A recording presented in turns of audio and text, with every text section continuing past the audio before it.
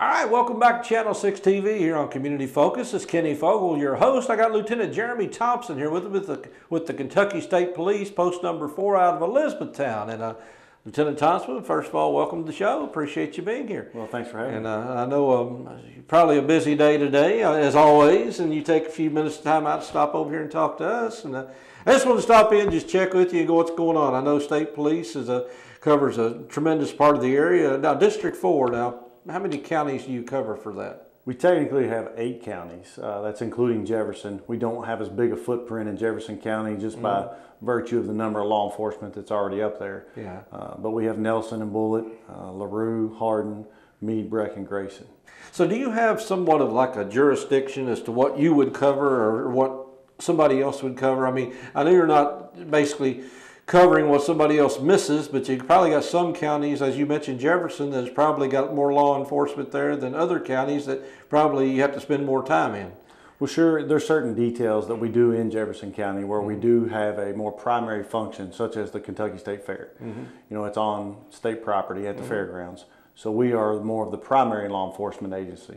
But on other details, such as Thunder over Louisville, Derby, Oaks, Yeah. um, smaller details that they have, the NRA convention, uh, just different things where Louisville Metro reaches out uh, to a partner in the community and we go up and assist on those details. Okay, well, let's say just to give it for example, Nelson County, and if a crime happens in Nelson County, city limits of Bardstown, Bardstown Police. If it's out in the county, I know the sheriff's department, of the county police, and where exactly do you come into the picture on, on something? So, is it depend on the size of the crime, or, or depends on can they handle it or not?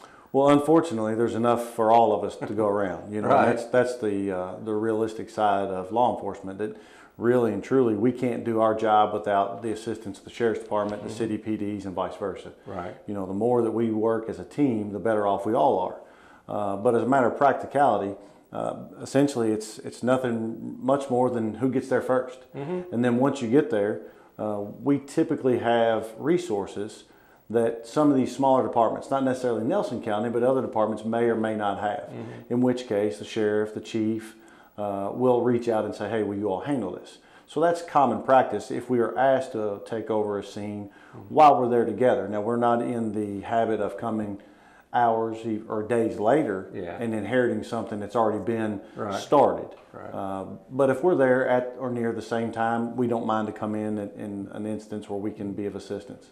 I know over the last few couple three years we've had uh, some hi- very high profile uh, uh, activity in Nelson County. The Jason Ellis case, for for instance, the Netherland family, the Crystal Rogers. I mean, uh, you I- involved in each and every one of those. I tell you to some degree.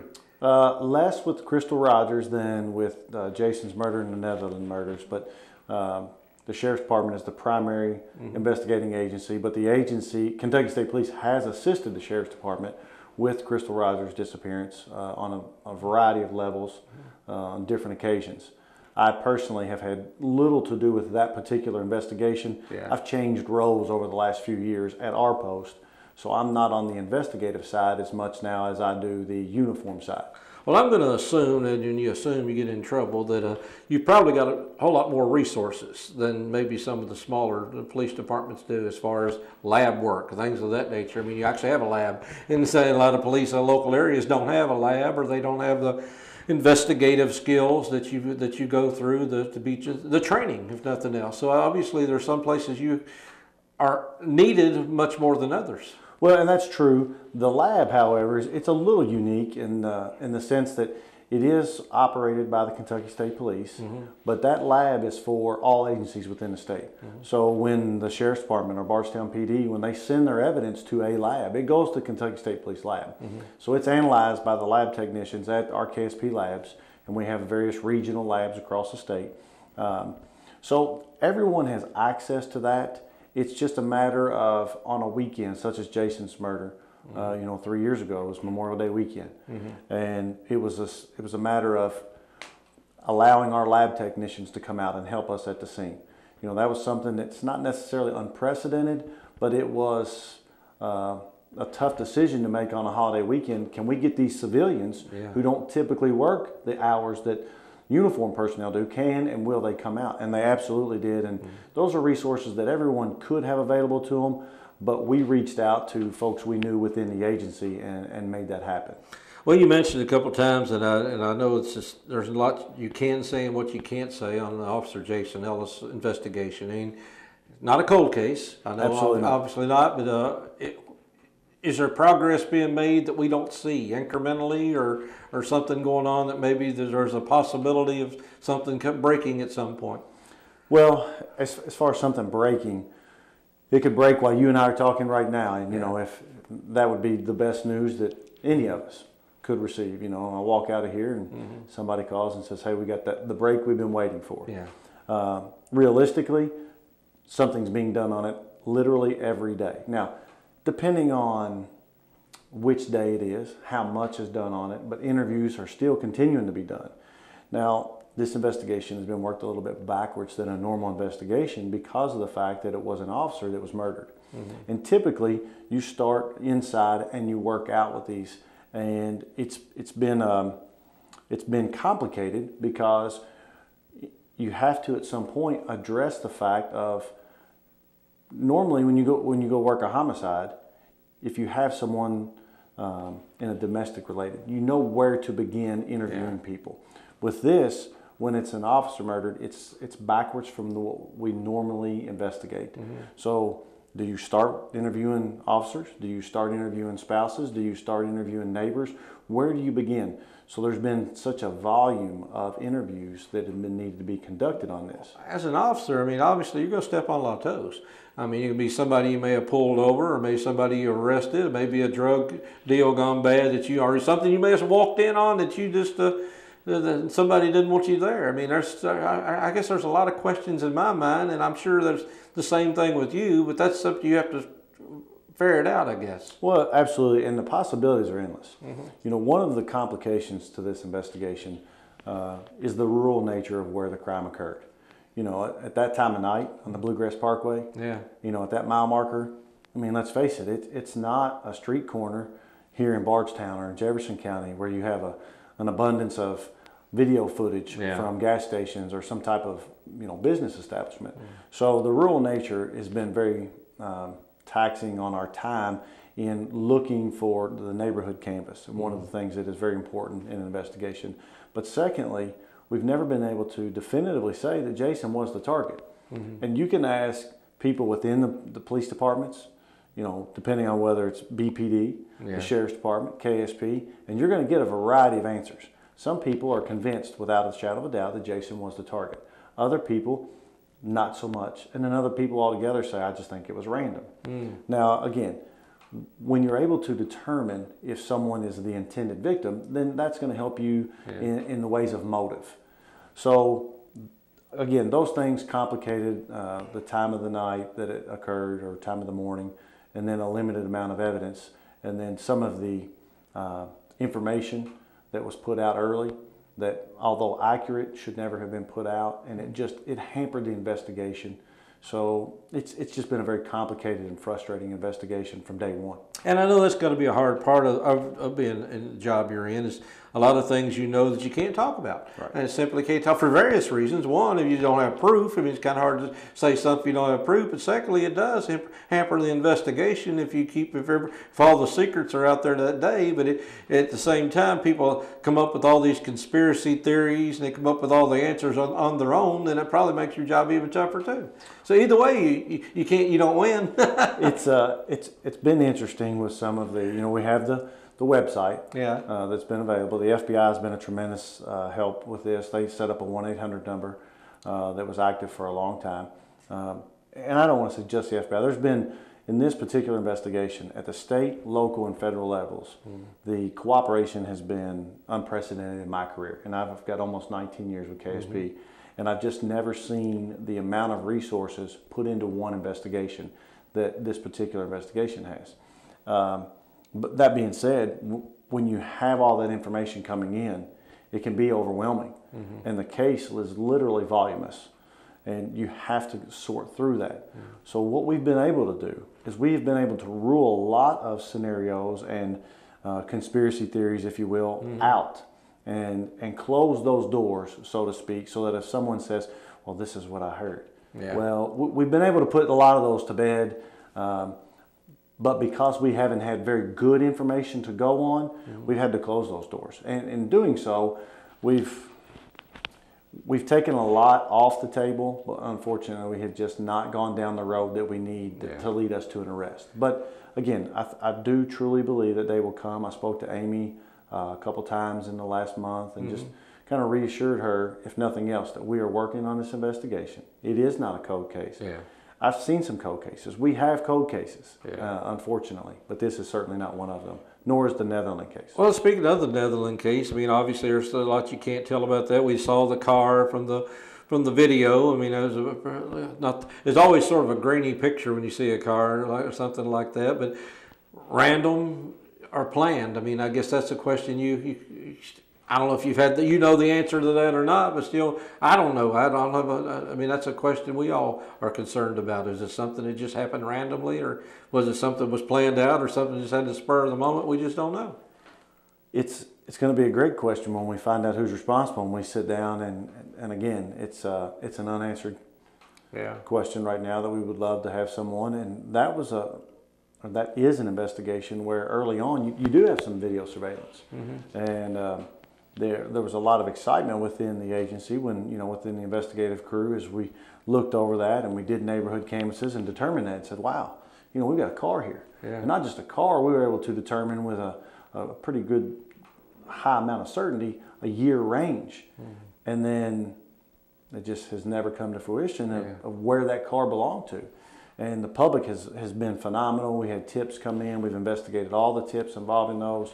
And it just, it's very odd to have that type of footage, to have, without the license plate, of course, that, that does Yeah, make it yeah, difficult. mhm. But just that time of day, we were really um, hopeful that somebody could point us in the direction, okay, that's, that's John Doe's car, and we're going to be able to go interview him and then get this Well, I guess my next question was going to be just what you touched on is tips. I mean, I know a, lot of crimes are solved because of tips, but I'm sure you get a lot of tips, as you say, that just get so many of them that some are off the wall and some maybe you got to sift through all those to figure out which one's the valid and which one's not. Uh, and and some of them are easier to do that than others. I mean, to be quite honest, some of them come in and are just so off the wall, so far fetched mm-hmm. that w- we'll take it down. You know, they come in on a recorded line and we'll document it, but it's they don't even bear any uh-huh. further uh, investigation because the tips are so far off. They're just so random, mm-hmm. and the circumstances within that information Yeah. are so contradictory to what we know. There are some that come in that are really intriguing, and we'll get somebody on right away, day or night. I mean, we've come out two and three in the morning. I've received calls at home, and somebody will call me, and I say, "Well, you know, it's going to take a lot to get me out of bed at two or three in the morning. At this point, you know, what information do you have?" And then before you know it, you're getting out at two and 3 Mm-hmm. in the morning. And again, unfortunately, you know, it just has not taken us down the path uh, to make an arrest. Well, a lot of people have information; they just don't know they have information. I think that's the case. They might be they think it's so minuscule that you're putting it all together. and That one little minuscule piece might make the difference. There's nothing that's too small. There's really not. And you know, if I would plead with the public, if you think you have information that's mm-hmm. never been reported, or if you think you have information that's been reported, but for some reason, you know, no one's contacted you. Yeah. Again, in in the early stages, there was so much going on. It could have been something we missed, and absolutely, we we'll throw pride out the window if, if we have missed something. Mm-hmm. If we've not spoken to somebody, please call us back. We'd be mm-hmm. glad to come out and talk to you. If we talked to you the first time and you recall something that you think, you know, this might be it. Maybe that is the small piece. We're more than happy to come back out, talk to the public, talk to whomever thinks they have information because at the end of the day, the most important thing is to solve this case. It doesn't Well- matter who, who solves it or who, who's responsible for the information. We just want to make sure we make an arrest. Well, I know uh, obviously the murders and things of that nature make the headlines, but you've got a lot of other things going on too. The, the rise seems like the drug instances of drug-related crimes is getting on the rise. I mean, I know more people are using drugs, more people has access to drugs, or they're making their own. I just don't know. But I'm sure you're seeing an explosion in, in the drug area. That's have any idea what's going on in the drug area and what we can do or what's happening? You know, I, I don't know what you can attribute that to. Uh, it does seem that there's been a spike in drug use and especially violence associated with drug use.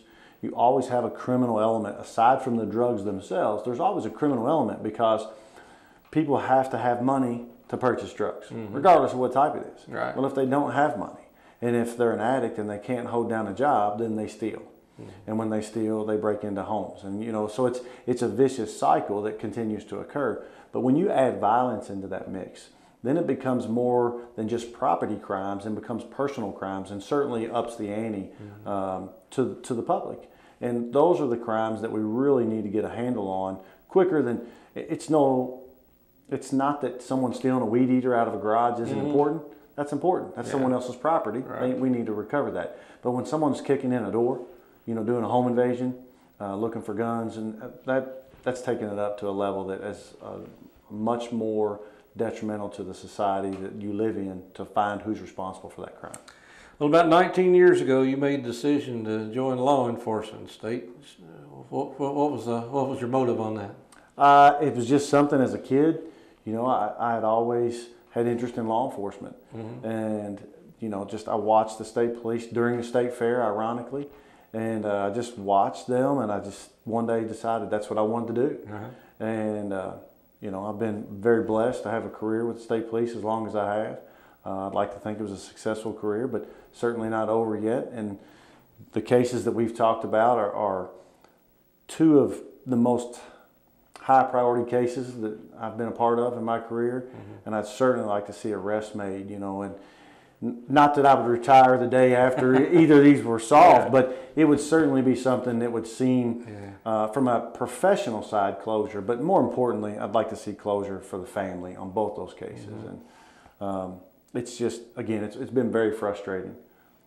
Well, not only frustrating, it's got to be uh, a little alarming. I know, especially when a brother in a in the law enforcement is, is uh, killed or injured or anything else, because you you face that every day. I mean, when you put that uniform on and go out, you don't know if you go to a, just a. There's nothing routine. People say it's a routine Right. traffic stop or a routine arrest. There's nothing routine. You're dealing with a criminal element. Because uh, so so we very very much pleased to got people doing that. So if somebody out there right now, some young person is going through school and thinking they might want to get into law enforcement, is there a place for them in the state police? Absolutely. We, uh, we are at some of our lowest numbers, manpower wise, that we've been in the history of our agency. Uh, we have currently have an academy class going on in Frankfort, and typically we'll run one class through annually. And if anyone's interested, please feel free to contact us over at Post 4. We can set up ride alongs, uh, citizens police academies. Yeah. Uh, there's there's a variety of things that we can do. We have a recruitment branch that's active, uh, and they get out and they're trying to recruit young men and women from across the Commonwealth to, to become members of the state police. So we certainly have a place for them. Now, if somebody wants to call you. Obviously, they don't dial nine one one. I mean, No, not, not for that. Uh, you know, we, we would absolutely take a um, information on the Ellis case if you have that information. If you want to call 911, we'll take it. But otherwise, no, uh, 270 766 5078 is the number to our post. All right. And uh, that number, it, it rings a lot, but we have six lines coming in, so somebody will get them. All right. Well, like I said, uh, we we like to stay up up to date with you. We do, like to update people as often as we can as to what we know going on. And again, there's not a whole lot you can report right now, other than the fact that it's still ongoing, and uh, that you're still on, on on the job looking to try to find, and still waiting for somebody out there that may have an answer, or may have a tip, or may have heard somebody overheard somebody. I mean, there's there's so many different ways people can hear things, and, and I know the there's people put things on the internet, or you might be at a, a bar one night and somebody a little more loose lipped than normal. That could uh, you just never know when, when Absolutely. something's gonna, as we said, break and, and give you a call. And you know, there's a substantial reward in both of the, the cases we've talked about. Mm-hmm. So if you bring that information forward and it leads to an arrest, you know, that's if nothing else, if it's not doing the right thing because it's the right thing, do it for the money. and it's and you mentioned I won't question your motives. If you bring us the information and, and we're able to solve one or both of these cases, I'm not concerned with your motives as long as we follow up and then we do a thorough investigation from that information uh-huh. and we're convinced that we have the right person or persons. I'm not, I don't care if it's for the money or for the right thing. Just And how much of that is anonymous? I mean, I know that's the question people are going to have. They don't want to come out and be a target themselves. I mean, that's Sure. I'm sure the people are scared. Well, you know, it, it's in today's society. You can block numbers. You can you can do all the things you want to do. You can mail a letter. It doesn't happen often, but we still receive letters. Yeah. You know, send it in. I don't care if you send it by carrier pigeon. If you get us the information, just send it in. We'll take a look at it. We'll run with it and do what we need to do from the, the law enforcement side. And uh, we just need that, that information. And I do think someone out there in the public has the information we need. Yeah. I'm convinced of it. Yeah, very few things happen in a vacuum. So usually there's always one or more people involved, and anytime there's one more than one person involved, there's always that possibility. Right. Well, Lieutenant Jer- Jeremy Thompson, we'd certainly appreciate you stopping in here. Like I said, I know that this is one of the counties, obviously, that you're in. So uh, uh, we see you out on the road. We'll wave, wave at him and know that you're on the job and they're protecting and serving. We appreciate what you do. Well, thanks for having me. Well, thank you very much. Appreciate you being here and appreciate you tuning in. We'll be back with more of our show here in just a few minutes here on Community Focus. Take care, everybody.